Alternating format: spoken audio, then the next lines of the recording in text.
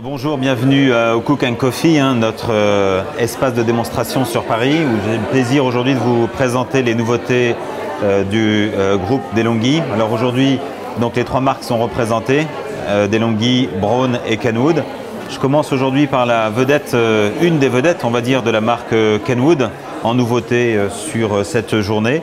C'est le nouveau Cooking Chef Gourmet. Donc c'est le robot cuiseur emblématique de la marque Kenwood qui euh, donc va proposer deux innovations importantes. La première, c'est que ce robot cuiseur est capable de monter à 180 degrés. 180 degrés de cuisson, c'est extrêmement important en cuisine pour plusieurs raisons. Je dirais que la première, c'est qu'elle va vous permettre de réaliser de nouvelles recettes qu'il était impossible de réaliser avec des températures plus basses, hein, plus basses de 140, de 130 ou voire de 110. Des euh, préparations comme rissoler, comme frire, comme faire du caramel, comme cuire comme dans un wok. Donc vraiment un appareil cuiseur dans lequel on va avoir euh, énormément de nouvelles recettes. En même temps, la cuisson à 180 degrés permet de préserver les sucres à l'intérieur des ingrédients, notamment quand on prépare une viande avant une cuisson plus longue.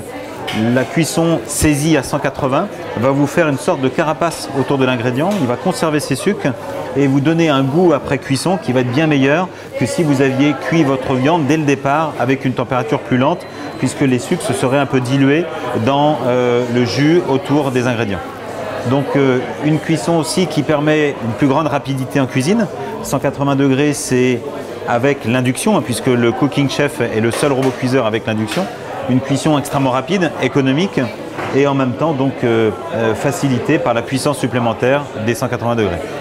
L'autre innovation importante sur ce nouveau Cooking Chef Gourmet, c'est la possibilité d'avoir accès à des programmes.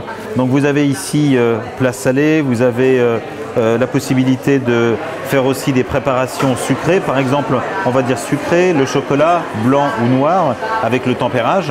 Vous avez la possibilité de faire des pâtes, des pâtes à gâteau, de faire des pâtes à pain, des meringues. Alors si vous voulez une meringue, vous avez le choix. Vous voulez une meringue italienne, vous voulez une meringue suisse. Donc c'est vraiment euh, la possibilité de faire énormément de choses euh, avec cet appareil. Donc vraiment 24 programmes automatiques à l'intérieur du Cooking Chef Gourmet pour réaliser des recettes des fois un peu techniques. Là vous n'avez que les ingrédients à incorporer dans l'appareil et ensuite le programme va vous guider, va sélectionner la bonne température, la bonne vitesse, le bon temps de cuisson ou de mélange qui va vous permettre d'avoir une préparation parfaite.